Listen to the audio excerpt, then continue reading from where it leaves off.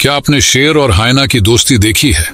जैसे आप इस वीडियो में देख सकते हैं कि कैसे ये शेरनी जंगली सुअर का शिकार करने के लिए उसके माद में घुस रही है और एक बड़े से सुअर को पकड़कर उस पर टूट पड़ती है।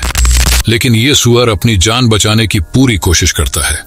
फिर ये खुद को बचा नहीं पाता है, क्योंकि एक हायना भी आकर इस सुअर का शिकार करने लगता है।